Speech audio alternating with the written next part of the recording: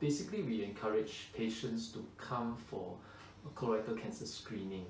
and the purpose is to basically pick up either polyps or cancer um, when they are in their early stages and therefore do not have any symptoms. So the guideline usually it's either when the patient is 50 years old